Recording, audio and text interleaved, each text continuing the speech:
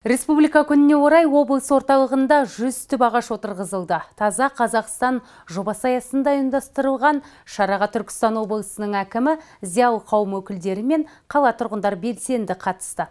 Олар орталық мешіт айналасына керуен сарай маңындағы арена алды мен туризм университетінің маңайына бірнеше ағаш түрлерін отырғызды.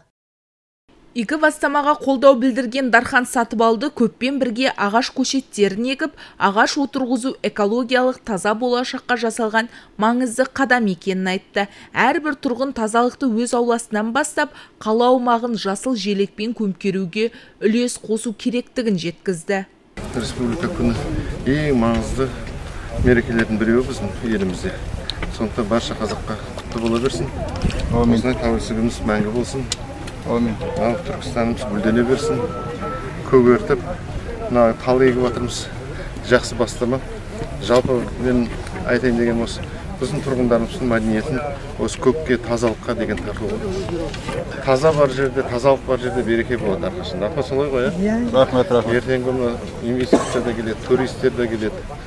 Жалпы мынау тазалық мынау ретке келген ағаш отырғызу мынау әрбір халықтың мінез құлқын білдіреді ғой.